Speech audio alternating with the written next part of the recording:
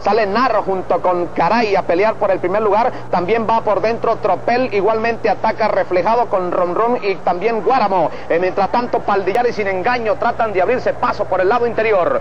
Dominando la situación por el centro de la cancha. El potrillo Caray. Nar corre en el segundo. En el tercer puesto avanza Ron Ron junto con reflejado. Después Paldillar con sin engaño y también Yacaré junto con insurgente. Paldillar anda muy comprometido. Dominando la situación eh, Caray, pero Nar se le viene encima. Mientras tanto, desde el fondo mejora mucho el potrillo Guáramo y también Ron Ron con Yacaré. Perdió los estribos el jinete del caballo Paldillar, dominando Nar la carrera. Nar adelante, allá viene avanzando Yacaré y también Guáramo junto con Ron Ron que se cuela por dentro cuando giran la última curva. 48-1, los 800 Nar ganando el clásico, aunque Guáramo corre mucho en los finales y también insurgente con Yacaré. Nar adelante, Nar seguro en el clásico. Antonio José de Sucre de 1973. Gran tiro vuela por dentro para el segundo, pero Nar no puede perder. Va a ganar Nar el clásico y ganó Nar el número 8.